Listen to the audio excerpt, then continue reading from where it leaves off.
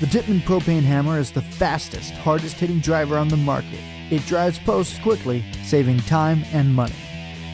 Using electronic fuel injection with a standard 14.1 ounce propane tank, it delivers 180 beats per minute with 65 pounds of impact per beat, driving 150 to 300 T-posts per tank depending on ground conditions.